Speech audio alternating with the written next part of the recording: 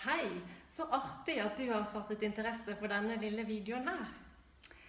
Og eh, vi tre som står her, vi skal holde et kurs som heter eh, 'Jeget mitt'. Hvor ble du av i alt mylderet? Og det handler om hvordan du kan lære å komme tilbake til deg selv, koble på deg selv og finne ting på innsiden og leve derifra. For eh, vi tre vi syns det er ganske kult å være oss selv. Ja. Og vi unner alle den samme opplevelsen. Og det som er så tøft med det, det er at det går an å lære. Så vi eh, har med oss ulike øvelser, teknikker, eh, som du kan få prøve på på kurset. Og her skaper vi en helt trygg ramme der du kan være alt det du er. Du kan være rar og flink og ikke fullt så flink. Alt er helt ok.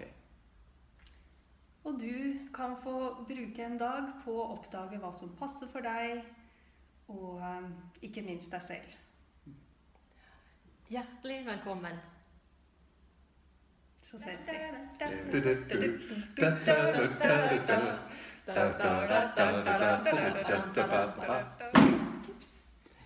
Går det nå, eller? Ja. Hallo! Halla! Det er kjekt å se deg. En gang til, da. Den kan bare ta Den er kul, den. Vi kan bare Hei.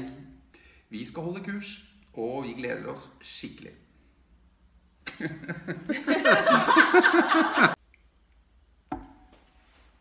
Hallo!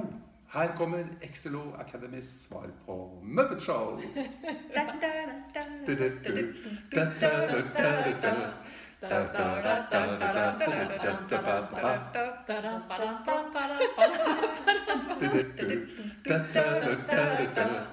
da da da da da da da da da da da.